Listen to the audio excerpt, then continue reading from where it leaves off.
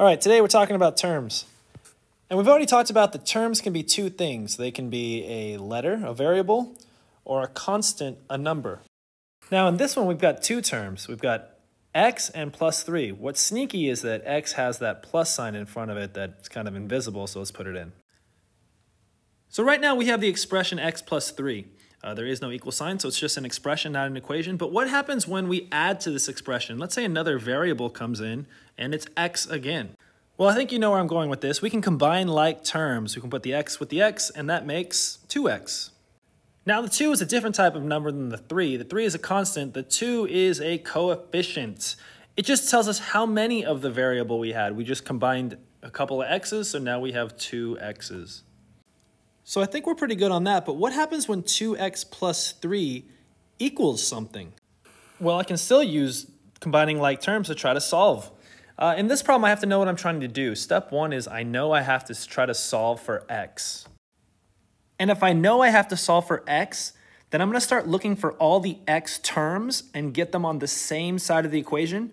And I'm going to get all the other terms on the other side of the equation. So there's a couple ways I can do this. One is the classical way where I look and say, okay, I want the 2x on the left side by itself. So I want everything else to the right side, so I got to get that 3 out of there. If it's plus 3, I can go subtract 3 to get it out of there like this. And that leaves me with, I can bring down the 2x, the plus 3 and the minus 3 cancel each other out, and plus 7 minus 3 is 4, which leaves me with 2x equals 4. And now that I've got x by itself, I can actually solve. The last thing I want to do is get rid of that coefficient, the 2, so I can divide by 2 on both sides.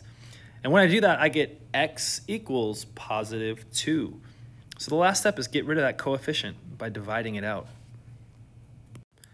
All right, what if we start with the last problem and make it a little more complicated? So this might seem like a more difficult problem, but let's first label our terms to make sure we're talking about the right things.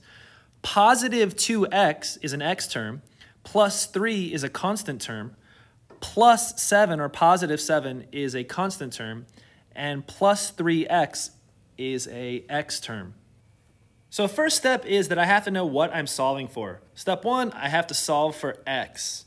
Step two then, I have to get all the x terms on one side and all the other terms on another side. So there's a really easy way to do this. Check this out. So I can pretend there's this barrier right at the equal sign.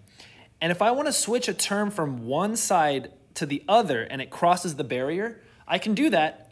I could just have to switch its sign when I do this. So I'm going to take the 3x and I want to put that 3x over with the 2x because I want all the x's on one side. And when I pick it up and move it across the equal sign, notice when it hits that barrier, it turns into a negative 3x and I can put it on this side. But now I need the plus 3 over on the other side. So I'm going to pick it up and start to move it. And when it hits the barrier, it turns into a negative 3, and I can put it over on that side. Now we can easily combine like terms.